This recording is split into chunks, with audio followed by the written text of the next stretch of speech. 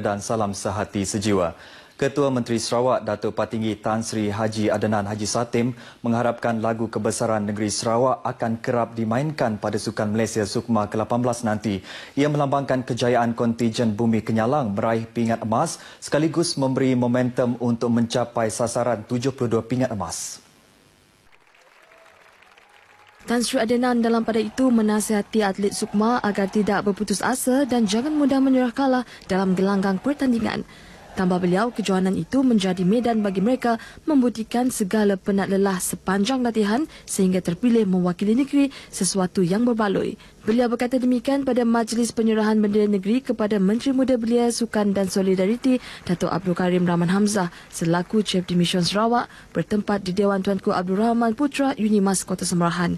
Tan Sri Adenan berkata seperti biasa mana-mana atlet yang berjaya meraih pingat pada temasya sukan tersebut akan diberi insentif berjumlah 2 hingga 5 ribu ringgit berdasarkan pingat yang diperoleh. Sementara itu, Menteri Belia Sukan dan Solidariti Datuk Sri Michael Manjin mengingatkan atlet supaya berazam untuk mempamerkan persaingan sengit. Ia bagi merealisasikan impian untuk mengembalikan semula era kegemilangan Sarawak dalam temasya Sukma pada tahun 1990-an apabila menjuarai tiga edisi berturut-turut pada tahun 1990, 1992 dan 1994.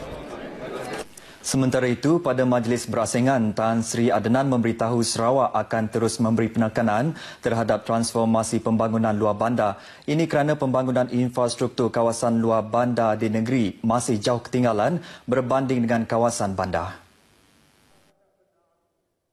Oleh itu, Tan Sri Adenan akan berusaha untuk mendapatkan peruntukan sejumlah 500 juta ringgit daripada kerajaan pusat bagi memacu usaha transformasi luar bandar. Dalam pada itu, beliau berterima kasih atas mandat yang telah diberikan oleh rakyat terhadap kerajaan negeri untuk terus mentadbir dan membangunkan Sarawak. Namun jelas Tan Sri Adenan, walaupun beliau tidak mungkin akan berkhidmat sebagai Ketua Menteri dalam jangka masa yang lama, namun beliau tetap akan memberikan perkhidmatan terbaik untuk membawa Sarawak ke arah pembangunan yang lebih pesat. Beliau yang juga Adun Tanjung Datu berucap merasmikan Majlis Pemimpin Bersama Rakyat sempena Ramah Aidilfitri di Dewan Masyarakat Lundu. Terdahulu beliau bersama isteri Datin Petinggi Datuk Haji Jamilah Haji Anu turut melawat tapak Menteri Rakyat sempena program tersebut. Turut hadir timbalan Ketua Menteri Tan Sri Datuk Amar Dr. James Cemut Masing, Menteri Pembangunan Wanita Keluarga dan Masyarakat Datuk Sri Rohani Abdul Karim, Menteri Muda Pelancongan Datuk Talib Zulfilip dan Menteri Kerajaan Tempatan Datuk Dr. Sim Kui Hian. Menteri di Jabatan Perdana Menteri Nancy Shukri menerima baik portfolio baharu beliau sebagai menteri bertanggungjawab menyelia Agensi Inovasi Malaysia, Perbadanan Kuasa Nuklear Malaysia dan Kumpulan Industri Kerajaan bagi Teknologi Tinggi Malaysia MITE. Menurut beliau, ini kali pertama wanita memegang portfolio tersebut dan beliau merasakan bahawa ia peluang terbaik baginya untuk menerokai portfolio baharu sekaligus membawa pembangunan di negara ini. Let us uh, look forward to see to, to do something that we can use to, we can tap from these new agencies. And i have already had in mind uh, what i want to do on uh, social innovation. Seeing and observing what's going on in the country i think social innovation is something that we need to um, to, to embark on and I hope I hope that I can uh, start something in Sarawak as well. Jelasnya dakwaan pengurusi Parti Tindakan Demokratik DAP Sarawak Chong Chen Jen tentang penukaran portfolio itu akan menyukarkan rundingan penurunan kuasa sesuatu yang tidak benar.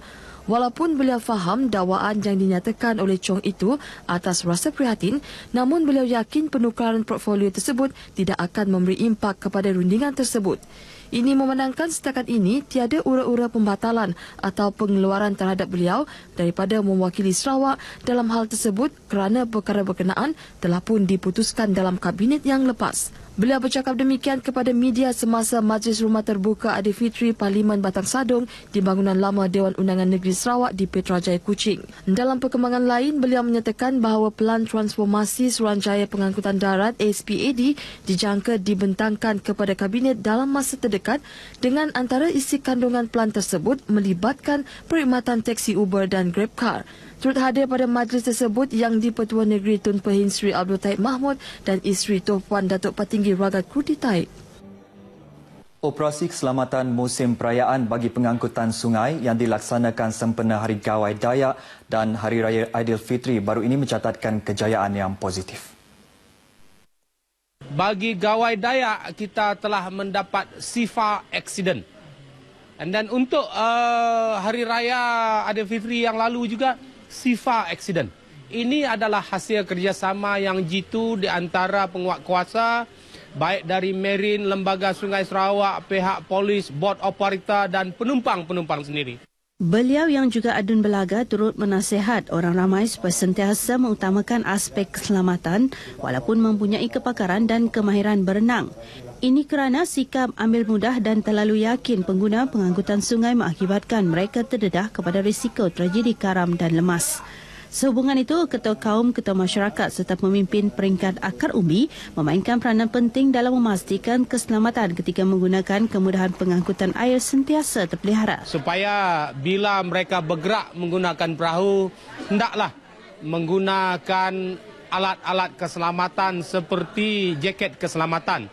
Oleh demikian, barulah anak biak-anak biak mereka melihat contoh yang diteladani oleh uh, ketua kampung Maran Uma Pengulu dan ketua-ketua kaum itu.